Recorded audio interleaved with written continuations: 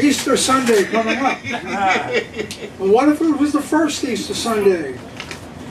Jesus rose today, and the rumbling of the crypt stone set off a motion detector, and an armored jeep pulled up. Jesus rose today and radiated his golden glow and was bum rushed into a decontamination unit. Jesus rose today but wasn't strong enough to drive the temple from the money changers.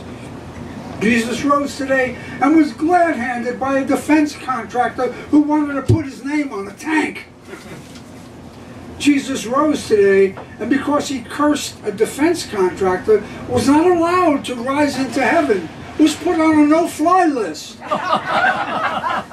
Jesus rose today and walked back up the hill called Golgotha, climbed up upon the cross, opened his wounds, and bled the last drop. Oh, This one is, I guess, dedicated to the uh, all the developers in the city who are closing poetry venues. it's called Go Home. Let all the moneyed fools and whoever is clogging our streets, and tourists and tour buses and street fairs and developers, let them leave and go and never look back. Let their final episode fade to black. Let us take our lifestyles back. Let the money go. Let the taxes go. Let the buildings rot. The parks go to root or seed or wherever concrete bound nature goes.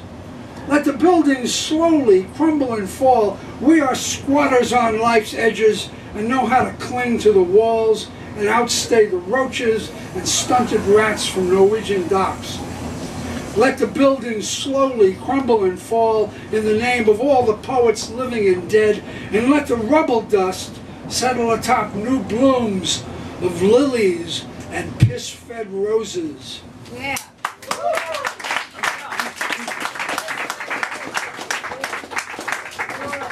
Uh, a while back I heard they killed off Archie from Archie Comics. And now they've, re, they've, uh, they've uh, re, uh, reconstructed him in something dark called Riverdale. I haven't watched it yet, but anyway. Uh, it's called Archie. They killed Archie. I never said they could. But who am I anyway? No longer a reader of Archie Comics, not a pal of Jugheads nor a foe of Reggie's. I've had my Betty and Veronica moments. Lived through decades with each, one at a time. Friendly divorces, too. Thank God, no kids. How could I explain to them being in high school for 47 years? I guess it was about time to say it. Goodbye, Archie. I thought you were dead anyway.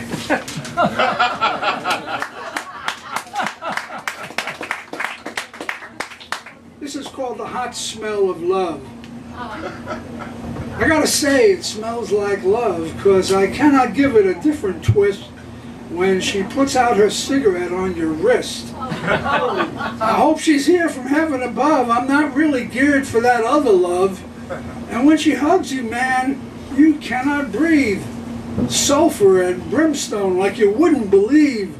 This succubus looks like a nun, a carmelite with a camel light dashing it out on your hand soft flesh. I gotta say, it smells like love.